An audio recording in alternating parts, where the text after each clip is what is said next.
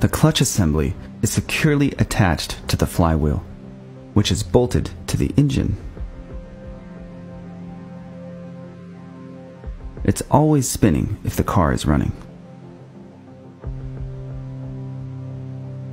The components inside this assembly allow power flow to be disconnected from the transmission input shaft.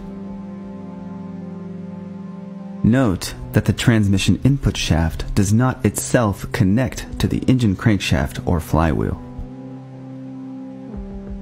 Connection to engine power is accomplished with a sliding friction disc, sometimes called a clutch plate, sandwiched between the flywheel surface and a movable pressure disc.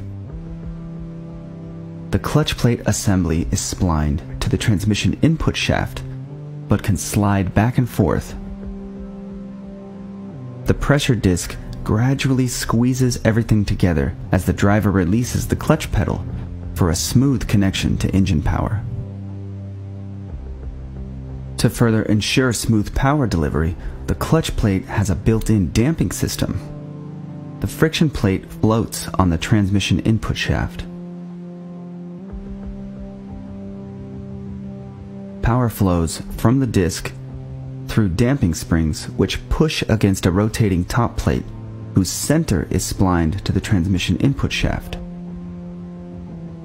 The springs continuously absorb vibrations or other potentially harmful anomalies in the flow of power. Now let's look at how the pressure plate moves. The pressure plate is connected to a special diaphragm spring. This strong spring is what naturally presses the pressure plate to the flywheel. The outer cover has hooks that hold the diaphragm spring securely in place and act as a fulcrum. There are also supporting leaf springs attached to the pressure plate and cover. The clutch fork sits at the center of the diaphragm spring.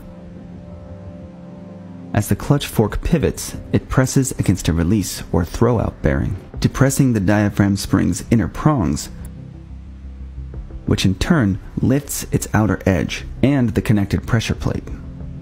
Let's see that movement a few more times. The clutch fork acts as a lever with a fulcrum point on the transmission case interior surface. It's driven by a hydraulic actuator whose lines lead back to the clutch pedal with its own hydraulic actuator and fluid reservoir.